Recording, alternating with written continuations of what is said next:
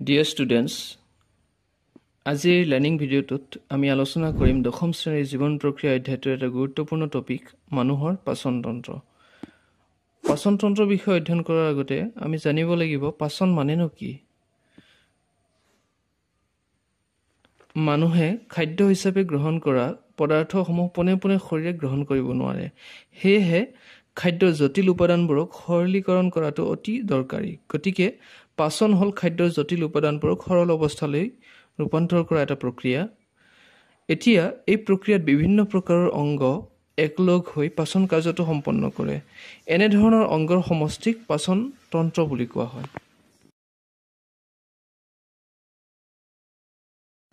এইবাৰ আমি আলোচনা কৰিম মানুহৰ পাচনতন্ত্ৰৰ বিভিন্ন অংশসমূহৰ বিষয়ে। মানুহৰ পাচনতন্ত্ৰটো দুটা প্ৰধান অংশত ভাগ কৰিব পৰা যায়। সেইবোৰ হ'ল পাচন নলী আৰু পাচক গ্ৰন্থি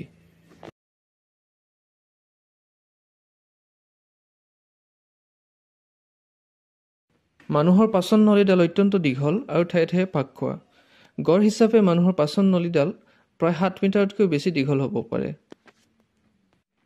মানুহৰ পাচন নলীৰ প্ৰথম অংশটো হ'ল মুখ বা মুখছিদ্ৰ মুখ নাকৰ ঠিক তলতে অৱস্থিত।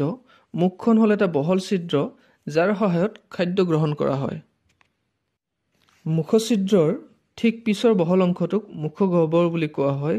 মুখগহ্বৰৰ ভিতৰখন শ্লেষ্মা জাতীয় পদাৰ্থৰ দ্বাৰা আবৃত হৈ থাকে।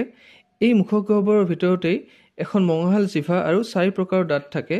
সেইবোৰ হ'ল কৃন্তক ছেদক পুৰপেশক আৰু পেশক পাচন নলীৰ মুখগহ্বৰৰ পাছৰ অংশটোক ফেৰিংছ বুলি কোৱা হয়।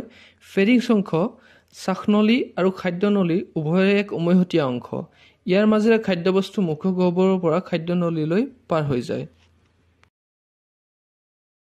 ফেৰিংছৰ পিছৰ অংশটো হ'ল খাদ্যনলী।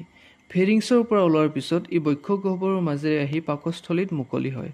মানুহৰ খাদ্যনলীৰ গড় দৈৰ্ঘ্য প্ৰায় পঁচিছ চেণ্টিমিটাৰ পৰ্যন্ত হ'ব পাৰে। খাদ্যনলীৰ ঠিক পিছৰ অংশটো হ'ল পাকস্থলী। মানুহৰ পাকস্থলী হ'ল এটা ডাঠ পেশীযুক্ত মনা। প্ৰাপ্তবয়স্ক ব্যক্তিৰ পাকস্থলীৰ আয়তন পোন্ধৰশ মিলিলিটাৰ পৰ্যন্ত হ'ব পাৰে।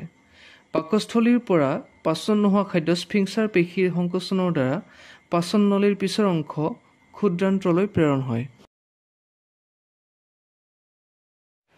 পাকস্থলীৰ সৈতে সংযুক্ত হৈ থকা ইয়াৰ ঠিক পিছৰ অংশটো হ'ল ক্ষুদ্ৰান্ত ই অতিশয় দীঘল লাহি আৰু পাক খোৱা নলী।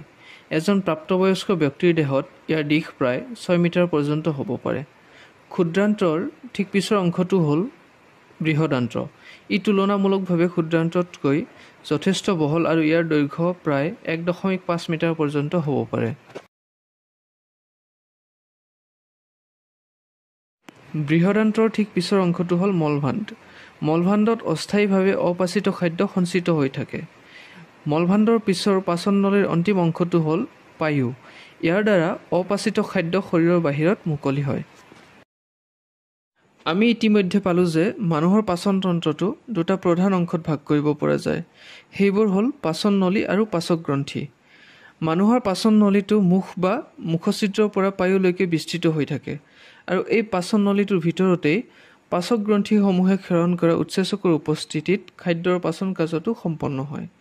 মানুহৰ পাচক গ্ৰন্থিসমূহৰ ভিতৰত প্ৰধান গ্ৰন্থিসমূহ হ'ল লালতী গ্ৰন্থি পাকস্থলী গ্ৰন্থি যকৃত গ্ৰন্থি আৰু অগ্নাশয় গ্ৰন্থি। লালতী গ্ৰন্থি মুখগহ্বৰৰ আভ্যন্তৰীণ বেৰত অৱস্থিত। লালতী গ্ৰন্থিৰ পৰা ক্ষৰণ হোৱা পাচক ৰসৰ মিশ্ৰণকে লালতী বুলি কোৱা হয়। লালতীত প্ৰায় আঠানব্বৈৰ পৰা নিৰানব্বৈ শতাংশ পানী আৰু প্ৰায় দুই শতাংশ কাৰ্বহাইড্ৰেট বিশ্লেষী উৎসেচক চেলাইভাৰী এমাইলেজ থাকে যিয়ে কাৰ্বহাইড্ৰেটক ইয়াৰ সৰল অৱস্থালৈ ৰূপান্তৰ কৰাত সহায় কৰে।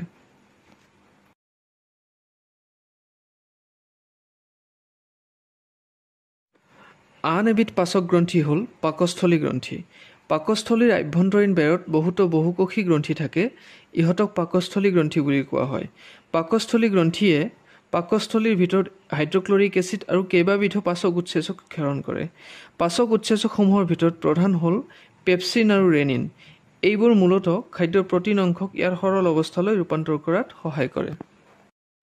মানুহৰ পাচক গ্ৰন্থিসমূহৰ ভিতৰত আটাইতকৈ ডাঙৰ গ্ৰন্থিটো হ'ল যকৃত গ্ৰন্থি। যকৃত গ্ৰন্থিৰ কোষবোৰে পিত্তৰস নামৰ এবিধ পদাৰ্থ ক্ষৰণ কৰে। ক্ষৰণ হোৱা পিত্তৰস পিত্তস্থলী নামৰ এটা সৰু মনা সদৃশ অংশত সঞ্চিত হৈ থাকে। পিত্তৰসত কোনো পাচক উৎসেচক নাথাকে। সেয়েহে ই পোনপটীয়াকৈ খাদ্যৰ পাচন ঘটাব নোৱাৰে যদিও ই অন্য উৎসেচকৰ ক্ৰিয়াৰ বাবে এক উপযুক্ত পৰিৱেশৰ সৃষ্টি কৰে। পাচনতন্ত্ৰৰ দ্বিতীয় বৃহত্তম গ্ৰন্থিটো হ'ল অগ্নাশয় গ্ৰন্থি। ই পাকস্থলীৰ পিছফালে ক্ষুদ্ৰান্তৰ প্ৰথম অংশৰ সৈতে সংযুক্ত হৈ থাকে। অগ্নাশয় গ্ৰন্থিয়ে ক্ষৰণ কৰা অগ্নাশয় ৰসত কেইবাবিধো পাচক উৎসেচক থাকে। সেইবোৰ হ'ল প্ৰটিন বিশ্লেষী উৎসেচক ট্ৰিপচিন স্নেহ বিশ্লেষী উৎসেচক অগ্নাশয় লাইপেজ কাৰ্বহাইড্ৰেট বিশ্লেষী উৎসেচক অগ্নাশয় এমাইলেছ আদি। এই পাচক গ্ৰন্থিসমূহে ক্ষৰণ কৰা উৎসেচকবোৰে খাদ্যৰ জটিল উপাদানবোৰক পাচন নলীৰ ভিতৰত সৰল অৱস্থালৈ ৰূপান্তৰ কৰে। সৰলীকৃত খাদ্যদ্ৰব্যবোৰ পাচন নলীৰ আভ্যন্তৰীণ বেৰৰ আৱৰণী কলাৰ মাজেৰে তেজত প্ৰৱেশ কৰে। আকৌ পাচন নোহোৱা খাদ্যবস্তুসমূহ মলভাণ্ডত জমা হৈ থাকে আৰু শেষত পায়ুৰ জৰিয়তে মুকলি হয়।